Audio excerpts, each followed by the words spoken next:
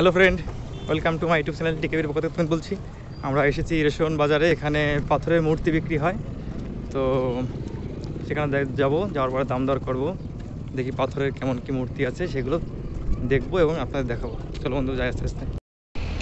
এখানে নানান ধরনের মূর্তি পাওয়া যায়। বীর শিবাজি বুদ্ধদেব, সরস্বতীর কৃষ্ণ মূর্তি অনেক ধরনের মূর্তি পাওয়া যায় এখানে কালেক্ট করতে পারো তোমরা।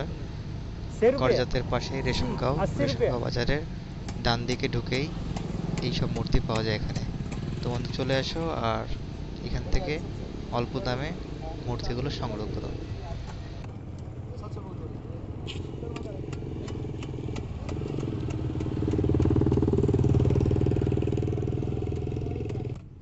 এখানে ফুলদানি এবং রাধাকৃষ্ণ মূর্তি বীর শিবাজি বড় বড় ফুলের দানি, সব ধরনের মূর্তি এখানে পাওয়া যায়।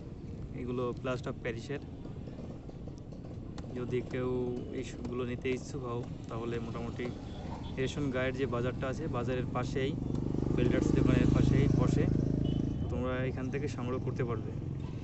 আর এখানে ভালো কোয়ালিটির মূর্তি এবং ধরনের ই করা পাওয়া যায়।